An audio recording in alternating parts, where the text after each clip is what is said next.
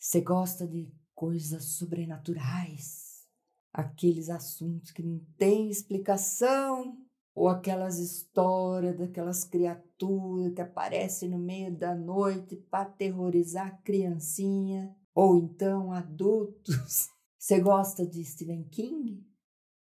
O rei do horror, aqueles thrillers. Ai, por que, que eu falo tudo? Sempre eu falo.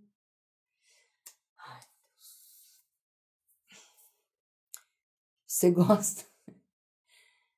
Perdeu a prática já, já não tinha. Você gosta? Caramba. Você gosta de Stephen King? O rei do horror, aqueles suspenses, aquelas coisas criminal, sobrenatural? Então, fica aí que esse vídeo é para você. Eu tenho uma série que vai fazer você ficar preso no sofá até o último capítulo.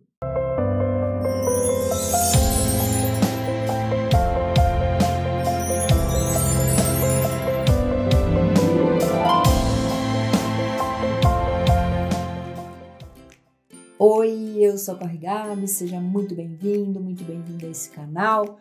Se você chegou até aqui, é porque está junto comigo buscando dar um salto quântico na evolução espiritual. Porque gente boa se atrai, entendeu? Baseada no livro de 2018 de Stephen King, de mesmo nome, The Outsider, conta a história de um professor de inglês, um treinador da Liga Infantil de Beisebol, super querido na cidade. Ele é acusado de assassinar um aluno dele de 11 anos, o Frank Peterson.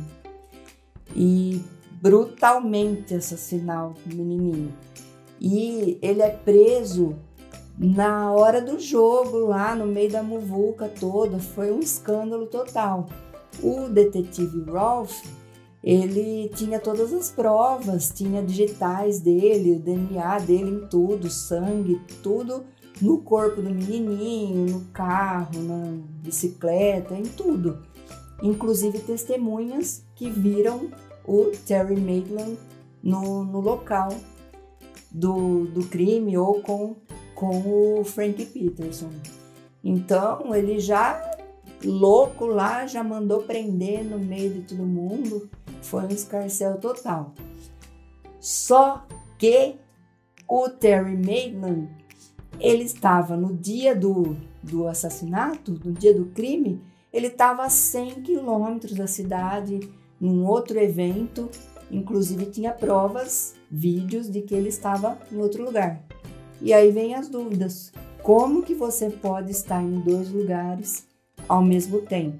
É muito interessante essa série para quem gosta de assuntos, né, sobrenaturais, porque aí vem, né, o nosso rei do horror que escreveu o livro, né? Então é baseado nessa história dele então você pode esperar eventos assim bem interessantes. Então a série prende mesmo você, são 10 capítulos da HBO.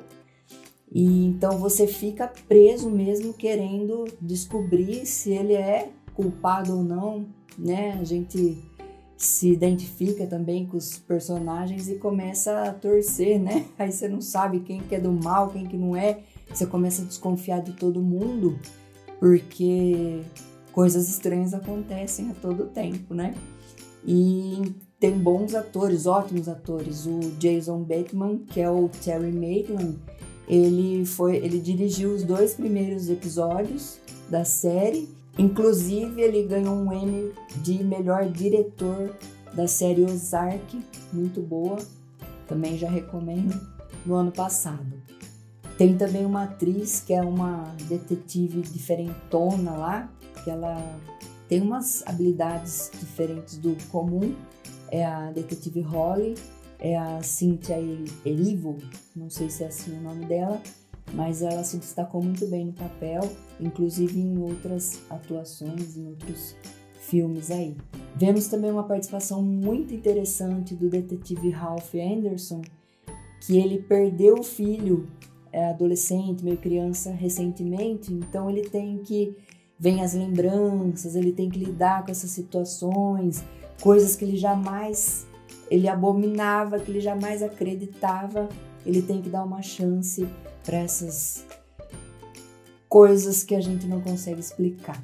Tanto é que tem até uma, uma frase que ele fala: Eu não tenho tolerância para essas coisas inexplicáveis. Para mim tem que ter prova, dados, não sei o quê.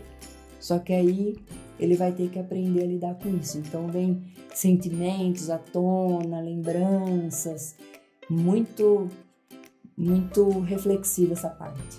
É uma série então que eu recomendo. É, a princípio teria só uma temporada, seria uma minissérie na verdade, mas aí depois, pelos créditos finais, a gente entende que ela pode voltar. Esse foi o vídeo de hoje, espero que você tenha gostado, que tenha te ajudado de alguma forma. Se você gosta dessas coisas meio loucas que nem eu, ver umas coisas no meio da noite, eu recomendo. E nos vemos no próximo vídeo. Sigamos no caminho da luz. Namastê.